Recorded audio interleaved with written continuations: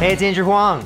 A few years ago, I started telling my friends that I had an opportunity to go to space, and they all believed me. I didn't keep up the charade, I told them what I was planning, but it was fascinating to me that in this day and age, it was believable that someone like me could go to space. So this was my plan.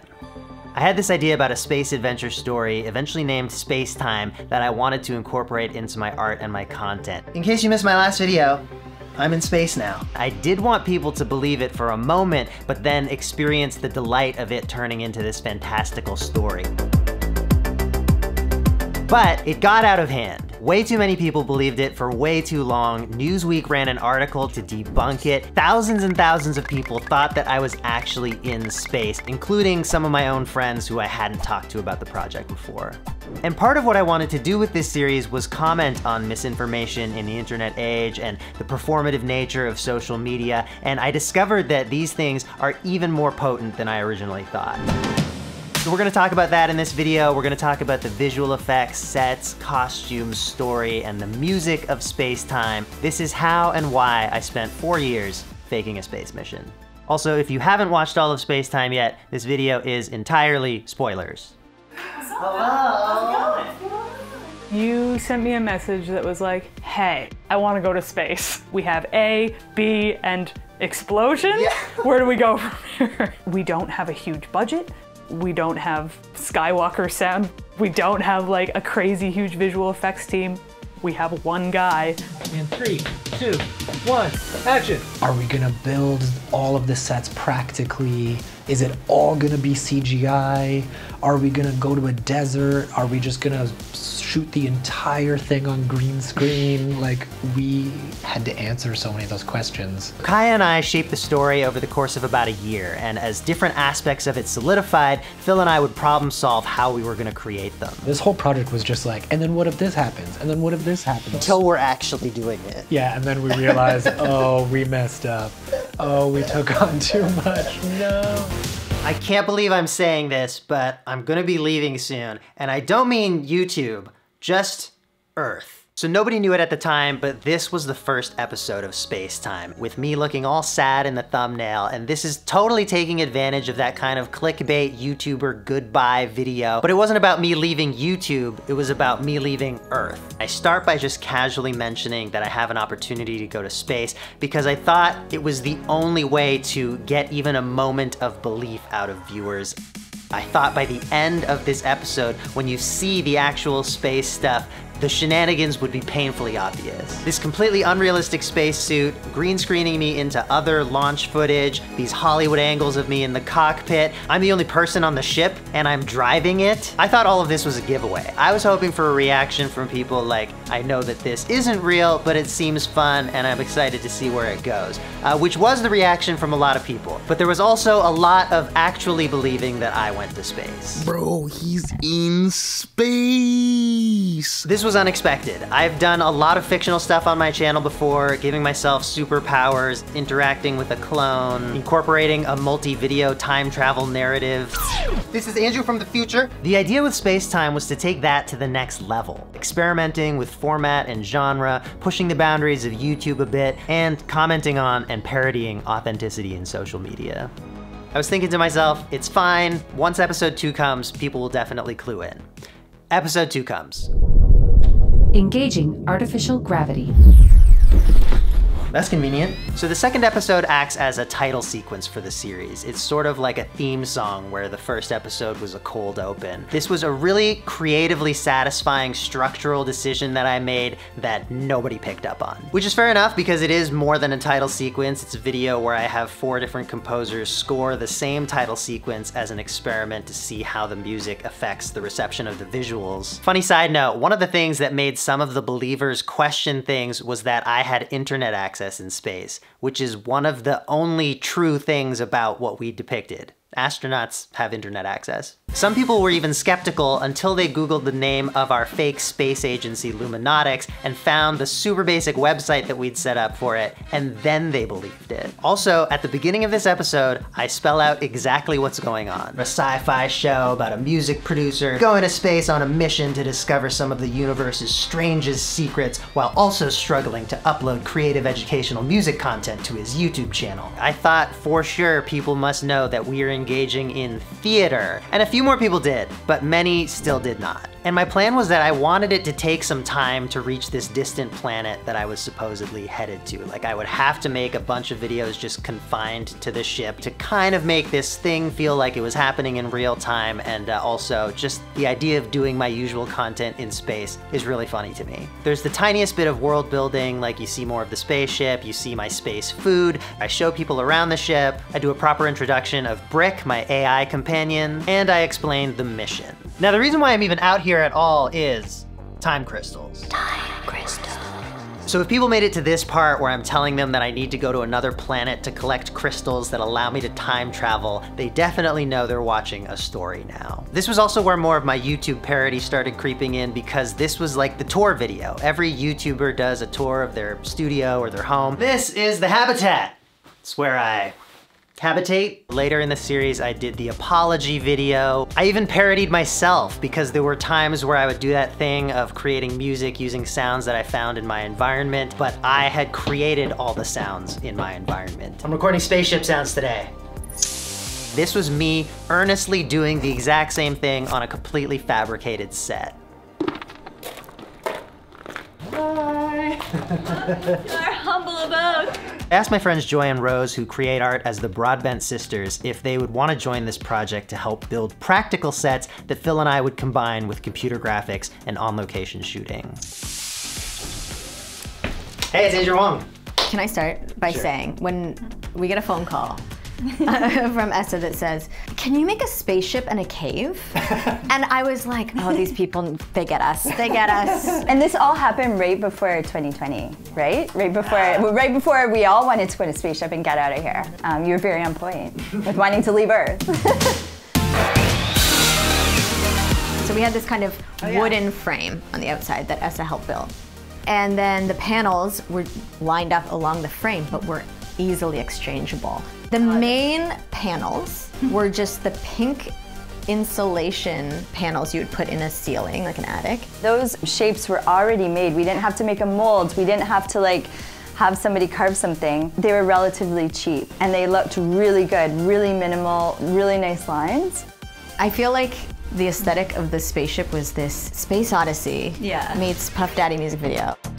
Today we are shooting all of the airlock starboard orientation scenes. Action. You're supposed to listen to me. All of the sets that we built had to be built inside your studio. But we knew that we wanted like a long corridor and we didn't have the ability to do that. So we were like, well, what if we just built like just one little chunk of a spaceship and then just throw green up. So I took like photos of the actual hallway that we built to basically recreate CGI versions of those corridors. Then I could just like copy and paste digital chunks of corridor as many times as we wanted. It was funny how well it did end up working. We really make it feel like there's a bunch of different hallways I'm running through, and it's literally the same, you know, 12 feet of space that I'm running and changing directions and like coming through a door, coming through a door the other direction. Any single time that we wanted to like turn around and see the other side of the corridor, we had to literally take off every single panel that was different, switch it to the other side, put it back up, and then shoot that out. And there you go.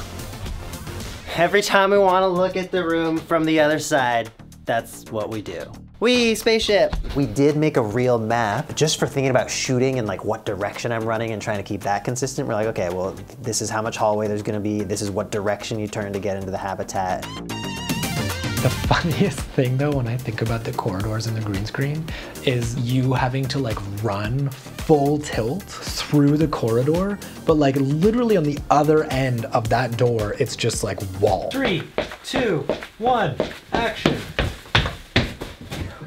Oh god. Okay, we just finished filming our first full day of spaceship stuff, and uh, it's going pretty good, right? It's, going okay. It's happening. It's happening. Yeah. For sure. I think we're gonna just make it. Here's some fun stuff we shot. Here's my spacesuit. Have a wipe down. You can see the ocean of sweat that I emerge from every take. Wow. I feel like our original goal was to get it done in like two months, right? How long did it take? A year? We're with Kit, who made Hello. costumes. Oh my gosh. I still think it looks awesome. This is like a face mask. And then under here, there's a bike helmet. The backing here is all of the foam. We just, it was literally just built out of problem solving. and we tried to make it look as cool as possible. I mean, the first time either of us had built a costume like that. I guess this is the wetsuit. It's in a bag because it smells terrible. Um, the main body. Is the battery still powered? This would uh, basically just like suck onto here, and then we just Velcro it in. These aren't even real buckles, it's all carved. Almost the entire costume is just these like dirt cheap gym mats. It's what a lot of cosplayers use to create their costumes. And the reason why we went with this is because it's cheap. We didn't need to cast molds. It's really forgiving. It's really easy to like move about and get it into shape, cut, glue it together. Like when you look at that and then that. First costume came out amazing. We did it. Good job. This is the last time I ever have to put on the suit, which is an ordeal every time. And that's the suit!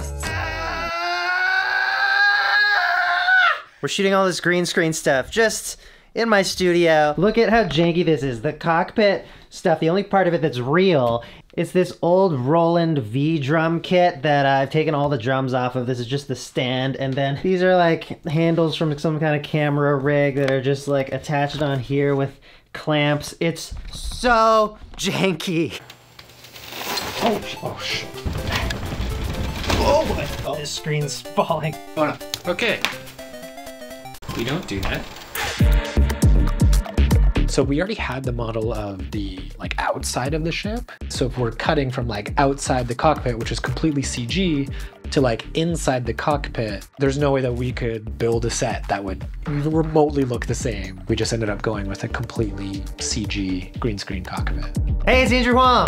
Still on the spaceship, and I was thinking for a random experiment today, I want to try and create a piece of music that uses the lowest note possible for humans to hear. So that was the next episode. It's one of my favorite videos on my whole channel, and it captures exactly what I wanted to do with this series. There's still educational music content. I make this banging track. Uh, there's a story involved with amazing visual effects, and the music is a part of the story. We learn that this low frequency that I use in my music triggers Brick to reboot. And weaving the music into the content and into the story was so creatively fulfilling. I've done this a lot on my channel where I'll be making music and then that music becomes the soundtrack to a travel vlog within the same video. And this was like the next level of that. It was also a really cool way to find inspiration because we were building this world that was giving me so many moods and uh, ideas. And then also I needed to soundtrack specific moments. So I would compose music for those and ended up creating some of my favorite material ever. So anyway, in this episode, the dubstep disables Brick, and right then, with amazing storytelling timing, the ship is headed right into an asteroid field. Incoming asteroids? I don't think I saw any asteroids. Okay, yep. There's a concept called Chekhov's gun in screenwriting. The idea of whatever happens in the finale should appear in the first act, and more importantly, backwards. If you put a gun on the wall in the first act, it's got to go off in the third. Okay, let's do this! This is our Chekhov's gun. The same thing is going to happen at the end. Brick is going to go down, the meteor is going to hit your ship, and you're going to end up in space. But this was the safe version, and later you're going to do the not safe version. So I make it out alive, but one asteroid does clip the ship, meaning I have to go out and repair it, which leads to one of the most beautiful sequences in the whole series, the spacewalk.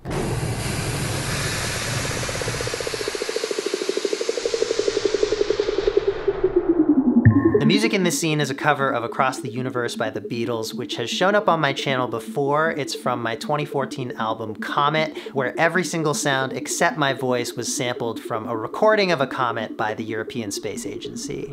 Words are flowing out like endless rain into a paper cup. Here I'd started out trying to create new music to score this scene, but eventually it hit me how perfect it would be to use this cover because, uh, you know, it mentions the universe, it has this beautiful, eerie mood that fits pretty well, but also it was already all made out of space sounds. I think the spacewalk was really like a, just a sci-fi thing that we had to achieve. Being able to just like do this stuff and be like, I'm gonna be in space yeah. after all of Phil's work.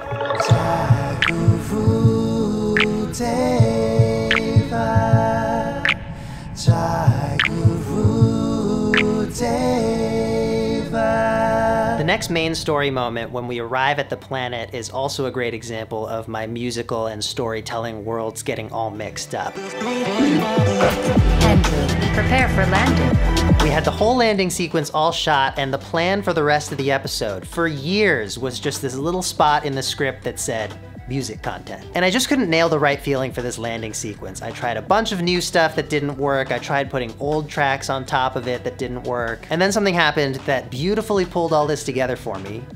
I got a new guitar pedal, the Hologram Microcosm. It actually looks super spacey. This pedal turned out to be very inspiring. It helped me finish an old track that I was working on that I then realized would be a perfect mood for this landing sequence. And then I was able to make the video about this very unique, beautiful sounding pedal, which is the exact kind of content that I love to do on my channel. And this all came together serendipitously just weeks before this video came out. And this project was chaotic like that. There was stuff that was four years in the making and there was stuff that I was coming up with on the fly as the episodes were being released.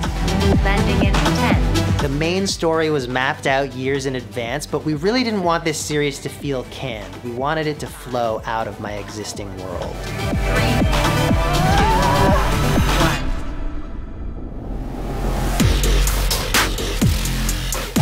So this was, I would say, is like the end of Act One. Sort Yes. of. We have like journey to the planet is the first part, and then on the planet is the second act. Now we're in a different world entirely. Let's do something with it. Distant planet, I just landed. Snapping Candace got an Instagram. When we were writing this, we had no idea what it would be. Not we a were like, clue. is it gonna be a cold planet, a hot planet? Like we had no idea. Like, do we build a cave or do we go to a cave? Ended up doing both. We decided that the Mojave Desert, especially Death Valley, would be great for the kind of barren landscapes we needed for our story. And out there, there were also the Mojave lava tubes, which could be good for an alien cave. So we headed out there and gave ourselves a week to find and shoot all of the alien planet locations. One week. Turns out, Death Valley is one of the hottest places in the world. It's the driest place in America, and I went there to film in an enclosed helmet, wetsuit, and motorcycle boots in the summertime. So we had our shot list to work through and just found the best places we could to capture what we needed, an open space for the spaceship to land, a beautiful lookout, a path that looks like it could lead to a cave, now, even though this was a jam-packed filming trip and I was spending so much of it sweating and crawling in and out of this wetsuit, it was honestly as enjoyable as any vacation I've been on in my life. We're doing it. I was with two of my favorite people, my wife and my brother-in-law, just exploring these amazing locations, having fun, making a musical sci-fi show. It's challenging, but it was.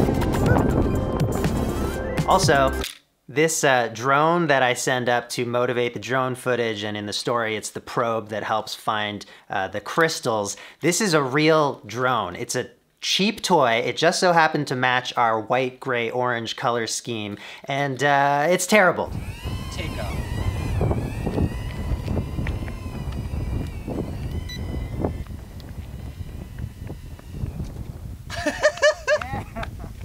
June 2019, we just finished filming the cave stuff. Uh, I'm in my studio right now because I want to show you. There's all this stuff everywhere. Most of my gear is covered up, and there's a fake cave. These rocks are all made of foam. It's just painted styrofoam. The bigger pieces, I'm not actually sure how they were made because we got really lucky and a friend of a friend who was working on some kind of film set uh, knew that these were going to be thrown out after they were done shooting. So we just rented a U-Haul, picked them up. They were in my backyard for like six months because we weren't ready to use them yet. We knew that we'd have to film multiple days in the lava tubes and that there would be tourists coming in and out sometimes that we'd have to deal with. We weren't confident that we would be able to have a permanent kind of crystal setup that needed to look the same, that needed to be illuminated for all these scenes. And it turns out that we were right. The lava tubes were a challenge to film in because there were just random tourists that would come in anytime, as they had a right to do. We didn't plan this at all. Came down to the cave and uh, met Josh, who brought his chicken outfit. It's perfect. I live here. You're in the real cave, and you'd be like, "Look at these crystals," and we'd like whip pan away, and then like three months later, back at like your studio, we'd like whip pan into like the crystals, and then like whip pan back, and they're like in different countries. We found the time crystals. What was that? What is that? Oh, oh my god.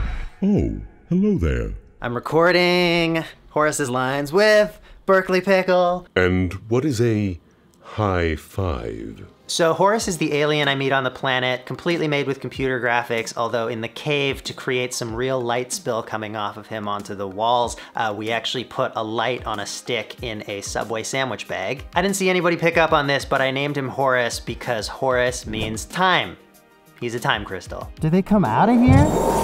Oh my god!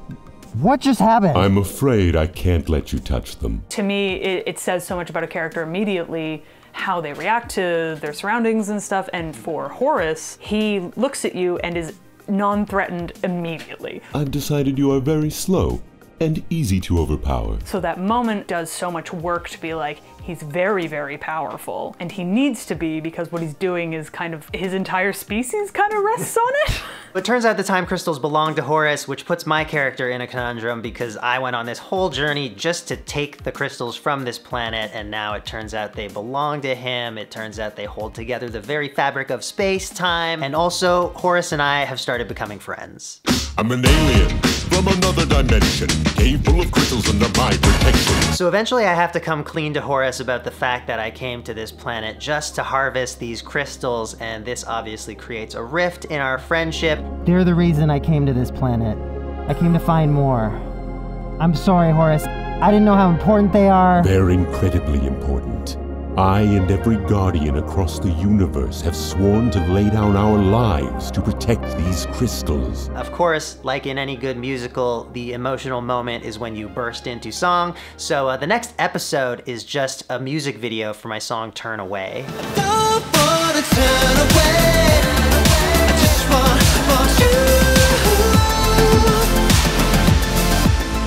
This, I think, was the first time we see Brick be like a villain villain. If Horace says no, I'm not going to, okay? Very well, Andrew.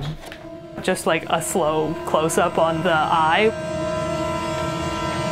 It's like, come on, you knew. You knew she was evil. You had to have known. No, Andrew, not the dubstep that disabled my systems in a previous episode. I, I have worked uh, as a stage manager as well, and I feel like Brick is a stage manager of this mission. You know, uh, she's behind the scenes being like, please just do the thing. I just need you to do the thing. Brick, is there a malfunction? Can you open the inner airlock doors? The doors are behaving according to my instructions. What? Crystals obtained. Return to Earth for further study. What? going on? Launch sequence initiated. Prepare for launch. You decide you're going to try and take control of the situation, and you use the Chekhov's gun, the thing we yeah, the thing we put in the beginning, which is the dubstep, most specifically like that frequency. If you choose to obstruct procedure, I will be forced to render you unconscious. A lot of people have asked if I could edit all of the story parts into one long video that they can watch, but uh, it doesn't really work like that. It really was made to be these separate YouTube episodes. A lot of the gear demos, the tutorials, the music making, it's all part of the story. No, Andrew, not the dubstep that disabled my systems in a previous video. The whole point is that it's an experiment with format, and maybe not a successful one, you can let me know, but one that I wanted to try. That frequency will cause me to malfunction. I love that it could be educational, it could be kind of zany and cartoony almost, but then also straight up badass sci-fi action movie. Like some of these scenes, when I watch this, I get the same feeling as when I see the Millennium Falcon. Shout out again to Phil, our one person VFX team. It was the most intense VFX of this entire series, and I had the least amount of time to get it all done. Oh no. Brick, are you seeing this? What are you doing? Setting course for. Where's my dad? Go! All right, so the meteor hits my ship and uh, the video ends right there and my channel goes dark for two months. This was my elaborate way of taking a break from YouTube. Of course I can't make new videos. My spaceship just exploded while I was inside it.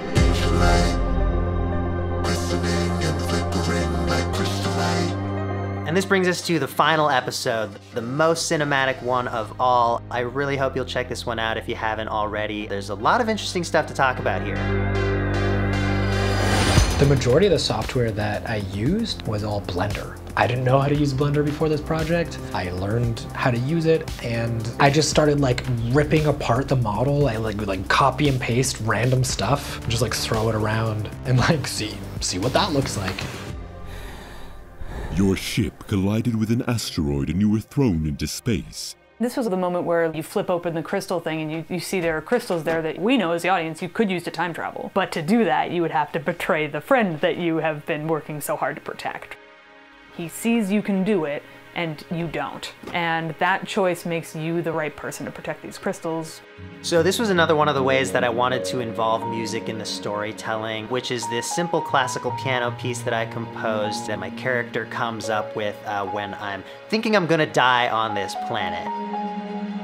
It turns out Horace has a way to send me back home, and after we say goodbye, a more polished version of the piece comes in as the soundtrack to me being beamed back to Earth. We do some dramatic Space Odyssey style stuff, stock footage of nature, a bit with my baby. I managed to get this shot where I panned down from the moon to my studio, felt like that was very fitting. And as the piece comes to a close, you see that it's me back on Earth playing the piano.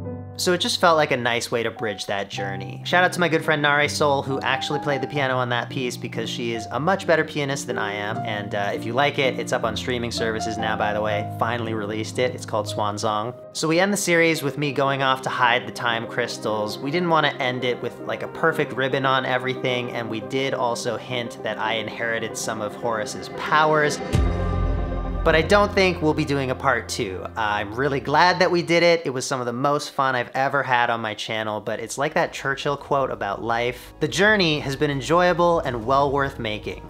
Once. I recognize now that Spacetime tried to do too many things. It was music tutorials, it was music promo, it was social media commentary and parody. I was trying to tell this space story. I thought I had a vision that pulled all these things together, but in the end, I think most of the elements were weakened by being mixed up with all the others. Looking back, I think the trickiest thing was that as soon as anybody saw any of this as music promotion, everything else was seen through that lens. The space adventure wasn't because I wanted to tell a story, it was just a gimmick for my album. Creating this fictional world wasn't about raising questions about authenticity in social media, it was just confusing, or I was desperate for attention, or jumping the shark. Ultimately, I consider Spacetime a creative success. I love the music and the videos and the story that came out of it, but as a promo campaign, iffy, as an experiment with format, hit and miss, and uh, as commentary, kind of a fail. I'd love to hear your thoughts on any of this though, and I hope you enjoyed the videos and the music, but maybe most importantly, I hope we can all remember that the things we see on the internet, we might not have the context for, we might be misunderstanding someone's tone or intentions, or they might not be real at all. Let's go, Brick.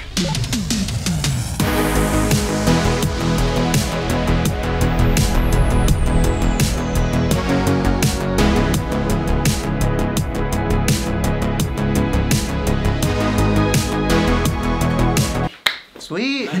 Got it.